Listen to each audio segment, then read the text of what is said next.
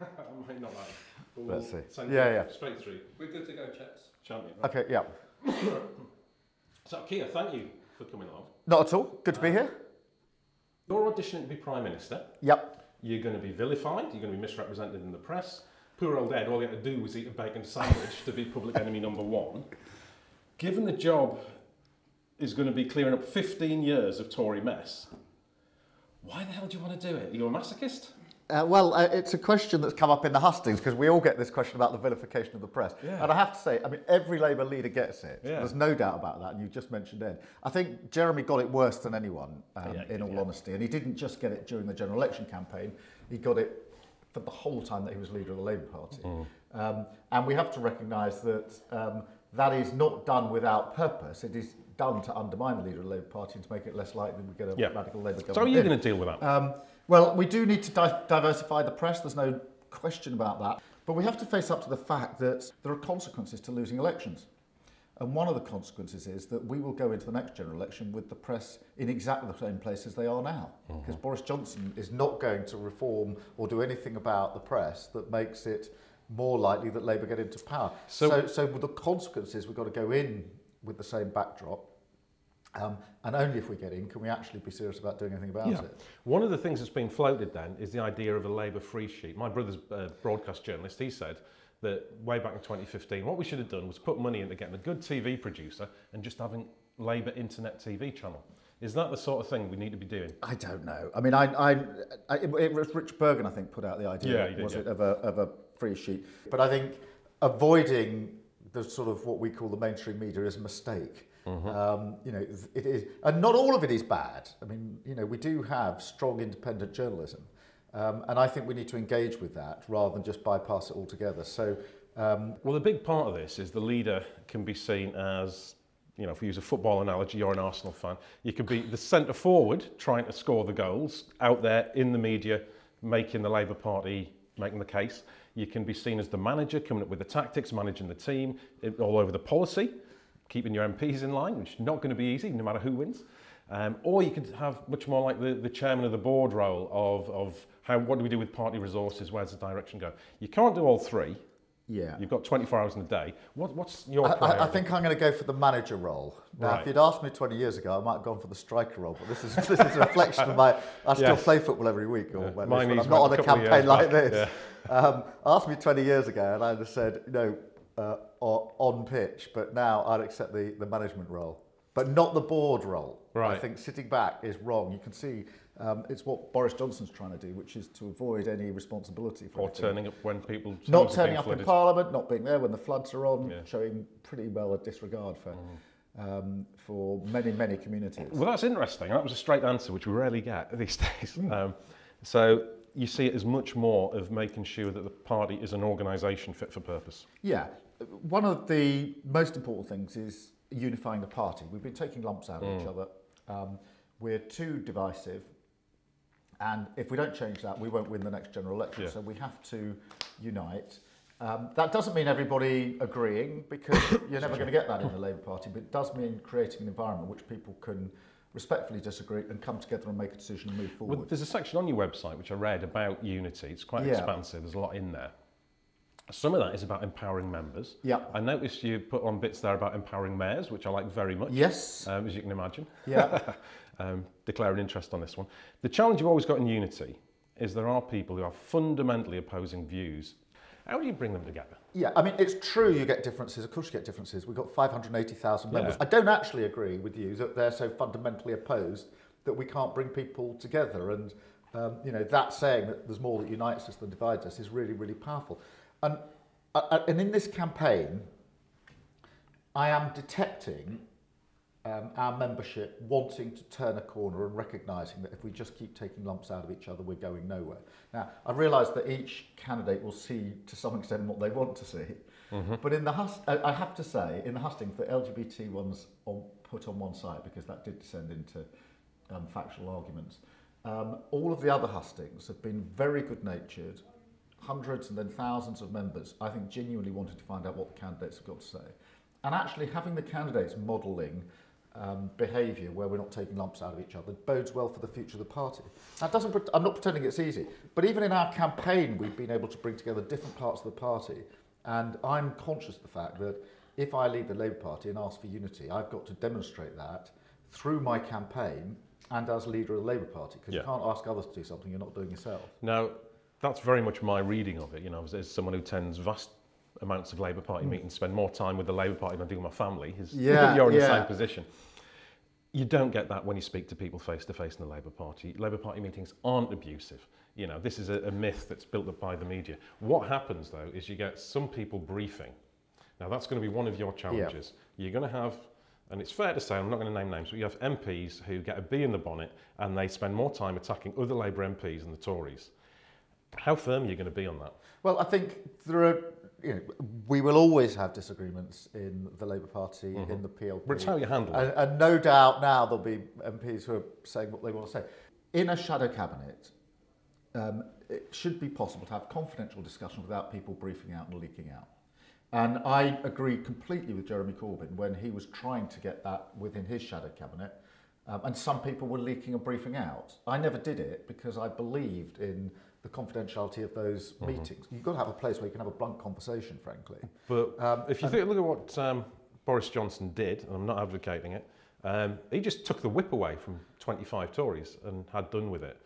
Now, I'm guessing from your facial expression, you wouldn't go that no, far. I don't. I don't, I don't What would you do? If, you, if you're going to go for unity, you've got to inspire people to come together. You can't force them to come together. Mm-hmm. And disciplining people to be united is going nowhere. So the only way in the end to unite Labour Party is to be very clear that's what you want to do, to recognise there will be different views and to reconcile them, um, and to have a culture and a spirit where people genuinely want to pull together. I think that is possible. Um, and to be honest, and this, you know, maybe I've done other things in my life. I've worked in the civil service, I've worked in legal teams, etc. I've worked in Northern Ireland. Wherever I've worked, people have disagreed. This is not unusual um, about staffing matters, about policy matters, about a decision that should be made. And they usually have a pretty blunt conversation. Then they come to agreement and they sit with it and work with it. And in, in my experience, the civil service happened all the time. We had board meetings where there were differences, had staff meetings where there were differences, but then we all get on with it. Bringing people together, it's a real trick. Um, Yeah, but it can be done. And it's, it's actually it's, it's quite a lot of fun when you Yeah. work your way through it, you know, if you're willing to listen. What I found is the most effective way is that everybody wants something. This winner takes all attitude in NEC slates, everything else, makes the stakes high, and that's what winds people up. And I, I think you- you've hit the nail on the head because at the moment, for some people, asking which bit of the party you're from is more important than what are you saying. Um, and that's a big part of the problem, I think. If we can get through that, we'll be making a big step in the right direction. All of the candidates are quite rightly wanting to improve public services, Yeah. wanting to clamp down on tax avoiders, Yeah. all of these sorts of things. It used to be the case that in the Labour Party, particularly in the Blair years, no one would say we're a socialist party. Now everybody says we're a socialist party. Um, That's a good thing. But there's very few people as yet saying, and by the way, that entails replacing capitalism. Would you be comfortable saying that? Well, I describe myself as a moral socialist. Um, and what I mean by that is that uh, I profoundly believe that if we're to get out of the difficulties we're in, we've got um, gross inequality, we've got to take radical action. The, the theory that um, if you leave the market ar- alone, wealth will trickle down is a busted myth. If that were the case, we wouldn't have the inequality that we've got. And I don't just mean wealth and income. Um, as you'll know, health inequality yeah. has gone through the roof.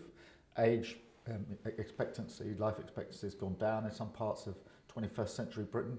And there can be 10, 14 years life expectancy yeah. difference between different areas. If you're going to deal with that, you've got to do pretty fundamental things. And I think we've got to have the courage to say the economic system, the free market economic system, is busted. Needs to be replaced with a new economic system where or model where government sets the direction and sets the framework. I actually think good businesses would work with that. Mm-hmm. You know, look at the, the key or some of the key problems in our economy. Short-term investment for quick returns is killing our economy. So you need long-term investment. Poor conditions, poor pay, insecure work is killing our economy and we're destroying the environment in the way we run the economy. Well, the government's got to do something about that. Absolutely. Let's run through some of these because you've put out your Yeah. 10 pledges. Um, I got this through the post. You Thank got you that very through the post? Good. Yeah. Number one, economic justice. Clamping down on tax avoidance. Uh, That's not an easy thing to Of do. Of course, it's not an easy thing to Um, do. It- so it- would you be willing, for example, to change, advocate for a change in the law that would require company directors to be on top of this and they go to jail if they're tax dodging? I, I would be very happy to look at a change in the law. I, for five years, I was Director of Public Prosecutions, and Yeah. we, we had a fraud department, one of the purposes of which to, was to deal with tax avoidance. I felt we didn't have enough power. Um, but there's a massive shortfall there. The, the tax gap is in billions and billions and billions of pounds. Yeah. And of course, it, dealing with that is massively popular. I don't care where you are in the United Kingdom. Go out to any pub, club, cafe and say to people, do you think it would be better if we're able to stop people avoiding tax? It's, it's And innate in human yes. psychology, isn't it? That nobody likes people jumping the queue. And that's what we're talking about, is people getting something. Hang on, we're paying tax, we expect you to pay tax. And, the, and they know that it, it, it's gone through the roof and something needs to be done about Yeah, it. yeah. Um, I mean, there's been suggestions. uh, I'm not going to press you for an answer on this one, but for example, a turnover tax is the way to do it. Well, I, I genuinely think we need to sit back and have a review. You Yeah. could look at turnover. You know, should revenue be the thing that we focus on? Yeah. I agree that we need to look again. Now, I'm not pretending I've got all the answers to this. You'd have to delve into the Yeah, would. detail of it. Of course, um, the other aspect that we need to focus on is this has to be international enforcement action. Um, uh, you know, we, we have to hammer out deals with the EU, for example, and other countries, because if we don't do that, it's just too easy for people to move their money across borders. So, social justice. When we're talking about benefits, I think as a society, we've now become conditioned to that once you're out of work, you're on almost no money. It used to be that you paid your national insurance when, if you're unlucky enough to lose your job, you had a significant proportion of your existing income. Is that the sort of thing that we should be moving Well, back to? you- you've hit on something really important, which is over the last decade, two decades, the the disparity between um, what you have to live on if you're um, on benefits compared with if you're in work um, has got much much bigger, um, and we we probably need to sit back and ask a slightly different question, which is what is the basic amount of money, income, call it what you like, that a family needs to live a sustained life, um, rather than what's the minimum we can get away with with benefit.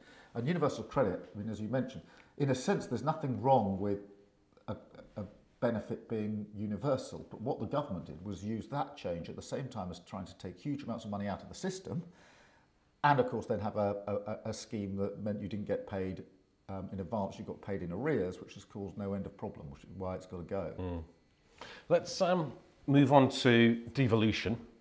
Um, Andy Burnham, um, Yeah. one of the other Northern Metro mayors. I know Andy very well. I used to work in Andy's team in the Shadow Home office. Yeah, So he's yeah. a good friend. um, I have a lot of time for Andy. He's a good bloke. Um, he said, uh, if we leave the whole question of devolution in the regions and the north to the Conservative Party, we will be making a catastrophic, catastrophic historic mistake from which we may never recover. They've sent you and the other candidates a list of eight questions.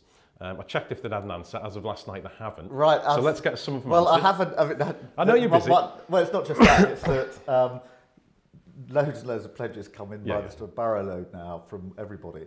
Um, I think Sadiq put some out the other day. Andy's put some out. I will. And if Andy's watching this, he'll be saying you better have a look at them. Uh, I will look at them and go through them. Um, well, let's have a look. So the most important one, number eight, is will you agree to set up a commission with Metro mayors to report back within 12 months of you being elected as leader to examine the opportunities to devolve powers to city region mayors?